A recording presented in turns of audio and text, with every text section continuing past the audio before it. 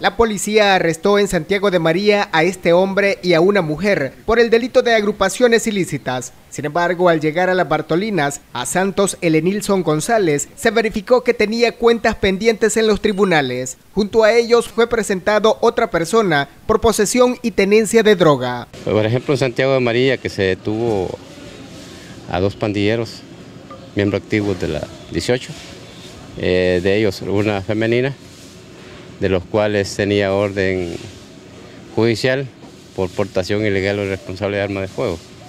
a ellos se les procesa inicialmente por agrupaciones ilícitas. Marcos de Jesús Mejía Hernández.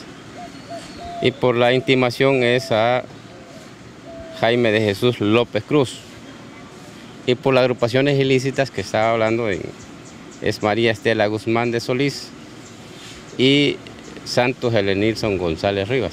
Uno de los arrestados en Santiago de María relató el momento en que fue capturado y dijo que perteneció a pandillas, sin embargo hoy está retirado de dichos grupos. Sí, estábamos juntos ahí esperando, ¿cómo se llama?, que llegara el ingeniero para buscar trabajo y de repente apareció la patrulla y como yo traigo tatuajes a la vista, pues la, claro que la, la gente, ¿me entiende?, puede, pudo haber hecho una llamada, pues, ¿me entiende?, y fue que los agarraron por agrupaciones nomás.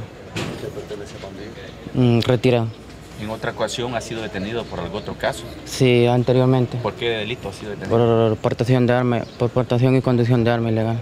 Las tres personas se enfrentarán a la justicia en las próximas horas por los distintos delitos que les atribuye la policía.